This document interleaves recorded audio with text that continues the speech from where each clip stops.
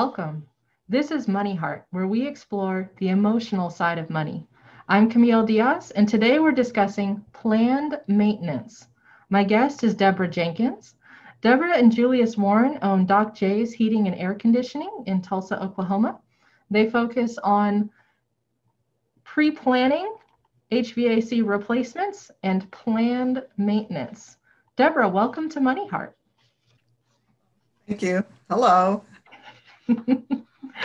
Sometimes on this show, um, we discuss the concept of how someone gets to a point in life where they have made themselves financially secure, and that way they can start using their money and time and resources to help other people. So that's that's kind of one of the concepts that I know we've covered in other episodes. You are one of the people who actually managed to do that. Can you tell us a little bit about your story before you got to where you are now? Uh, yeah, the the the uh, story that we would talk about is that um, I am a, I'm a retired physician, and I, at the age of about uh, 30, uh, 45, I was able to um, uh, make a major change in, in in my career path. It was still in medicine, but I was able to work with Doctors Without Borders, uh, a international uh, medical humanitarian organization and um, I was able to do that because of very purposeful, purposeful planning, uh, living below my means, um, with the idea of wanting to be able to do it mid career. Um, when I felt that I was uh, most fit to be able to do it, most enthusiastic, and um, not wanting to uh, wait until retirement because you never know what's going to happen then. That's um, so true.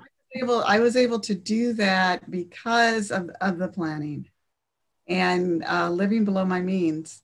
Mm-hmm. And so that opened up opportunities um, that um, allowed me to be able to um, uh, do humanitarian medical work in many different countries uh, several countries in Africa, in Haiti, in the Middle East, and then in the Far East.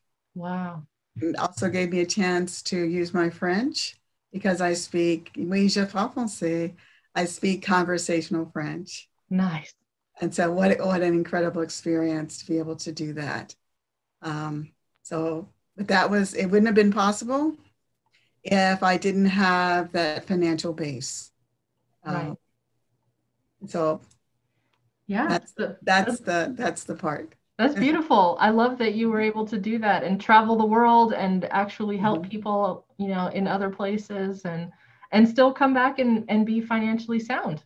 At, and I uh-huh. think at 45, that's not common. Let's just say it's not common. It's not that nobody. Uh, no, it's not. Uh-uh. No, it, it, it wasn't. Huh? And how many years did you get to spend doing that? I got to do that for 12 years. 12 years. Uh-huh. I did that for 12 years. Uh-huh. So when we were chatting about this episode, you said something that stuck with me, which was we always have the best of intentions and then life intervenes. How does that kind of relate to our topic today of planned maintenance? Because I noticed we're talking about planned maintenance, not preventative maintenance. And most people think of it as well, if I do the maintenance, then nothing bad will happen. But that's all we're talking about because we know that that's not really the way it is.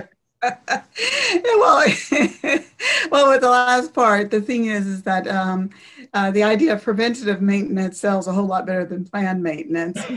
True, that's yeah, marketing. Can, okay, you can just stop things from happening. Period. And so you can't uh, stop things from happening. Period. You can make them less likely that they're going to happen. You can extend the the lifespan of things in your home, um, such as your appliances in particular. Um, and so when we were talking about how life intervenes, um, I, I, don't know, you, you're going to have to help me out a little bit in terms of how much you like. But usually what happens is this, is that um, when we're even thinking about moving into a home, mm-hmm, mm-hmm uh, we're, we're in an apartment or something and then you know people are pressuring you and they go oh it's time for you to move into a home you could spend the same amount of money in your house and yes. so, uh, we add up the mortgage payment we add up the taxes mm-hmm. The insurance payments and utilities and then we go okay i'm ready because right. they are they come out to be equal and you say i can do this yes so Yes, you can you actually get into the home, but usually what, what is underestimated is the cost involved with owning the home, the uh, the the just the ongoing maintenance, mm-hmm. and that is a it, it's a significant part. And um, sometimes if if you really think about it, you go, oh my gosh, can I really afford a house? Well, you right. you can if you buy if you buy property that's suitable for your income. Mm-hmm a tremendous amount of, of um, you can be more secure in your home and you can right. still buy. You just maybe won't buy something quite as big if you need to spend more money uh, or, you know, on planning. Um, and there's a there's kind of a general rule of thumb is that um, they there's one based on percentages. Oh, okay, yeah. Uh, one to four percent of the assessed value of your home. Uh, so your round figure is like two and a half to three percent to be safe. Mm-hmm. That's in the middle. Um, but mostly we don't really um, like percentages very much, and so the more concrete numbers are for you to actually take what your property taxes are, mm-hmm. and then what you are paying in terms of insurance for your home. And then if you add those two together, you often end up coming up uh, with a number that's about 3% or thereabout of the assessed value of your home um, per year. Um, so, like in my case, mine is approximately $4,000. Mm-hmm. Um, mm-hmm. So, you know, you need to save $4,000 a year approximately to spend on maintenance some something will need need it well and or yes and you're going to have some some years that you're not going to hardly spend anything right. and so what'll happen is people will say well shoot hey that's great vacation only i you know this year i only spent a thousand dollars and so right. you go i've got three thousand dollars to go on vacation uh-huh. and it's uh-huh. uh, it's like uh, you know uh, St. Croix, here I come. Mexico, I'm ready. Yeah. Canada. and that's very, and, and it, it's attracted to do that. But the important thing about homes is that you, you, you if you spend a, thou, a thousand one year, you've got to take that 3000 and roll it over into the next year because right. you got the biggies. Right. Um, that we tend to not think about. We think about when we're thinking about even like on our appliances, we, we think about the ones that are right in front of us. sure. Stove, the refrigerator, the dishwasher, the, uh, the washer dryer. Mm-hmm. They age right in front of us. Um, and not only do they age in terms of mechanics, they age in terms of colors or a lot of style. Yeah, they um, do. And so, you know, uh, and those costs are, are ones that we get really familiar with, and they're always in the front of our minds. But our biggest, and I like to call it appliances, is is our is your heating and air conditioning system. Um, that is one huge appliance. That is a huge appliance. yes.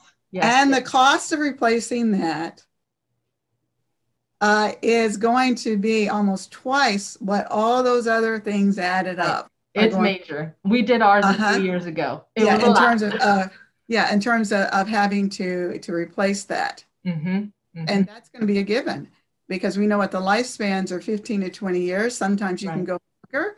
My sister has one that I think she is trying to set a history record. Oh gosh. From the 1980s. wow. Okay, well she's balancing out the average for ours because we only made it about 10 years yeah. and which is really yeah. short. It should have lasted longer than that, but major components failed after 10 years. So and that and, and that can happen. It happens. It happens. Yes, uh-huh. Mm-hmm. And then the other thing which which we really don't pay attention to, but you know, keeps us keeps us safe, keeps us warm. My gosh, uh, keeps that hail that's always pounding in Oklahoma off of us is our roof. Right. And um, there's you know there's formulas for that, but in general, um, you know you're gonna you're gonna you're looking at least fifteen thousand for a roof replacement for an mm-hmm. average average home, and it's not not a big one. Um, and then actually roof costs are even more than say uh, for my parents' generations because there's so many more um, homes that have high ceilings. Yep. And so the uh, that that is more roof. It is. It's, like and it's a we more all love. We angle. love the vaulted ceilings. They're just fabulous. Mm-hmm. They, but they're an additional expense because more materials are being used. Right. That is so. True. When I was calculating um, my own house, I had to add an additional twenty five hundred dollars in my projections um, because of the vaulted ceiling that's in the in the main living area and also in the bedroom. oh wow! Yep. Yeah. Yeah. So yeah. Mm-hmm. Yeah. You just it's it is the way it is, and yeah. and uh-huh. sometimes you know our, our insurance we could make a claim if it's all hail damage or something like that but even then, you'll still have a deductible, or there'll be things that the insurance doesn't cover that you're still going to have to go out of pocket for. So makes sense. Mm-hmm. Makes sense to yeah. plan, mm-hmm. uh-huh. for those. Yeah. yeah, definitely. So I loved your concept of the wealthy only pay for things once. Can you elaborate on how that works? Because I I try to explain this concept to people all the time, but I had never explained it that way before, and it was so clear that I just loved it. Well, I, I, um, I mean, you you said it, and and um, I think the thing is, is that a lot of times when we think of wealthy, we think of um, being able to buy buy a lot of things, mm-hmm. and uh, and expensive things, and that's what um, is the advantage of being wealthy, sure. Sure. But the other thing that people who are wealthy get, get the opportunity to do is that, say, for example, when they buy their refrigerator or they buy their washer dryer, um, if they've saved their money appropriately and they have the funds, then they just buy it. Right. If the sticker price uh, for the washer dryer is $1,000 combined, they pay $1,000 plus tax. Yep. Okay.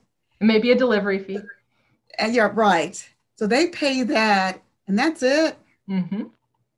But when we have to do things where we don't have that readily available money and we have to charge it mm-hmm. or out some kind of a loan to make that possible, then we take that thousand dollar price that and we have translated it into $1,200 or $1,300. Yes. And um, so here you are, um, where you've paid um, $300 more than the wealthy guy that if anybody could have paid the extra 300 it could have been the, the person with that that had the money already set aside. Right. And so it it's it, it's that you know being able to plan ahead so that you can get on that cash basis. Mm-hmm. Possible is what allows you to only pay for things once yeah. and you are able to start only paying once it's amazing how, how how much money starts to be available to um, uh, for the future mm-hmm. Mm-hmm. it gives you a lot of freedom it does. Yeah, that concept. And it gives you the freedom, uh, being able to, to purchase or um, replace things when it's good timing for you. Oh. Not when your dishwasher says, it's a good time for me right now. Yeah. Okay? It's yeah. going to say, you know, or when your washing machine decides, I am not going to agitate one more time. right. Right. Uh-uh. I stop. Yep. yep. I've been through that with a nice load of very wet clothes that yeah, had to dry for a, quite a, a, few days. right. because it just stopped right in the middle and our and everything just died all at once. Yeah, yeah, yeah. And uh, that was that was Uh-huh. kind of miserable to not have the capa- capability to do laundry and then you got to get it and then you have to wait for them to bring it and then our uh, ours was double hard because the new things that we picked out didn't fit in the old configuration in our laundry room. Mhm. So I actually had to have a plumber come out and rerun the gas line so that we could turn everything to face the other way so we could get them through the door and open the door, you know, open the doors, close the doors to do laundry. Mhm. What a mess. Mhm. What a, and not at all on my schedule. I was on the washing machine schedule. Yeah. Yeah. Yeah. So yeah, very, very accurate. And I, I love your point about um, basically compound interest. You know, if you're putting it on the credit card, you're paying for that on a daily basis. Mhm. Yeah, we do. We end up paying for a daily basis. And then the other thing I think that's been a trend is that um, the credit cards are so readily available that people, we, you know, we, we tend to think of them first before if we do have to finance things, what our other op- options are. Mhm. Other options um, could be quite a bit cheaper in the long run. Right. um, and and and they're not so cumbersome. I I mean, say for example, when it comes to home improvements, there there are short-term loans that are that are available through our local bankers hmm that don't involve taking a second or anything on your mortgage that are very very reasonable and yet not to think of, uh, uh, about that. Hmm and um, because I think I, I, I, I, you actually had said something in an early episode when you were talking about the, or, or at another time you were talking about the average um, interest on credit cards. Yes. hmm I, and I don't remember that figure, but you had mentioned a figure of, was it around 13%? I I want to say that that's what it was. Yes, Mhm, I'm, I'm mhm, trying to. I mhm. remember mentioning it. I think it was at a Wine Women and Wealth event, and I can't Mhm. quite remember that statistic right now. But I think, it, I Um, think, and but I that sounds about right. right. I think you're right, and it kind of seems Mm-hmm. to be going up because I I've always had kind of a low rate and and good credit, and it seems like every time I turn around, they're just eking that up slightly, a little Mhm, bit, you know, mhm, and then they just mhm. eke it up a little bit more. And I'm like, I didn't even buy anything, but they eke it up a little more anyway. So. Mhm, mhm. Yeah. Mm-hmm. Mm-hmm. Yes. Yes. Absolutely. Do you have any suggestions on how we can start to shift our mindset um, to having this kind of wealthy mindset, wealthy behavior, paying for things once, saving up before we get something? Um, what what tips or tricks do you use? How did you develop that for yourself? Because it seems really clear that you're you do it well. Um, to to start off from the very beginning like that, Mm. um, I think that um, sometimes it just means putting up with delayed gratification. Uh, and, and and and what's amazing is, you know, we're inundated all the time with, um, you know, all these things we can buy, and when they're in front of us all the time, it's not like they're passive. I mean, they, they are so, uh, advertising is around us so much that they're literally saying, buy me, buy me, buy me, buy me. I'm here, I'm here, I'm here. Woohoo! Yes. Yeah.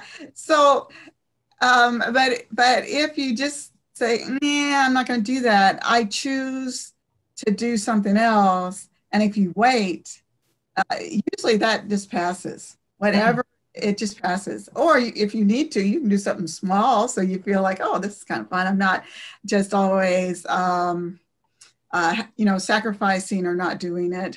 Right. Start off from the from the very beginning, no matter no matter what. You know, um, living living within your means, which can be tough, but it but but it's workable. Uh, Mhm. I finished my residency program. I think I was about the only resident that had money saved, and Wow. uh, almost unheard of. really? Really? yeah, yeah. I mean, yeah, it's like because there's always a banker that wanted you to get in debt because of what they thought was going to be the payoff. Oh. I think the- important thing is to start young and uh, from the as, uh, from the beginning and then say for example if when you do get make it a raise or a bonus at work um, have part of that go committed uh, mm-hmm. for um, you know future purchases. Um, don't don't don't um, um, take um, do that before you get used to it.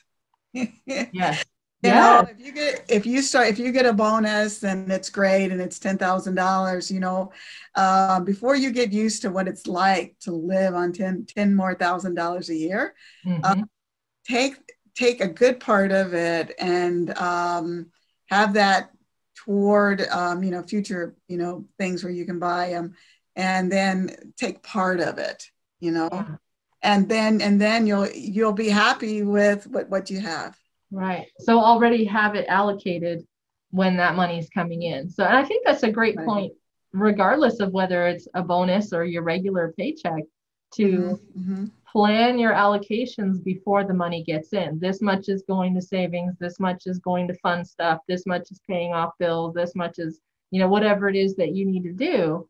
And then once the money comes in, you just put it into that formula mm-hmm. and you already know where it's going rather mm-hmm. than the money mm-hmm. comes in, you're all excited. And now the temptation is to go buy something new and fun. And then, mm-hmm. oh, right, I was supposed to get that other thing done. well, and you know, uh, a friend of mine uh, said one time too, which is funny, is that when you have children, you should just keep score with how many times they're going to ask you according to their age. when they're in elementary school, if it's something they really after, they're going to ask you at least 15 times.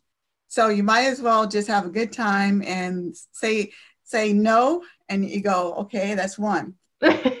no, that's two. no, that's three. Uh-huh. Up to 15, and then you're probably going to be free. and they'll stop. Yeah. Uh, you know, your teenager's probably only going to do it five times. Mm-hmm. They're going to be sneakier. oh, yes, they're very advanced. For sure. Still keep score. yes. Yes. They're probably counting how many times they've asked you. yeah. yeah. Yeah. They're quite good at that. Yeah. Get her while she's tired. that's right. That's right. Oh, look, she's really happy right now and in a good mood. It's the perfect time to ask. yeah. Yep. They're very good at that. Very good at yeah. that. Okay. Well, this has been wonderful. Thank you so much for spending time with me today. It was fun. Mm-hmm. Awesome. Deborah Jenkins and her husband Julius Warren own Doc J's Heating and Air. They specialize in remodeling, replacing equipment, and planned maintenance. The best way to get in touch with them is their phone number 918 921 4240. And they also have a website, docjsheatandair.com, all spelled out. Thank you as well to our listeners and viewers. I'm your host, Camille Diaz. This show is sponsored by Serenity Financial, a Five Rings financial agency, specializing in financial education, living benefits, and guaranteed lifetime income. Be sure to follow Money Heart on social media at Money Heart Show and on our website, moneyheartshow.com. The money mantra that Deborah came up with for us today is the cheapest thing in the short term might not be the best investment in the long term. Thank you so much, Deborah. Bye.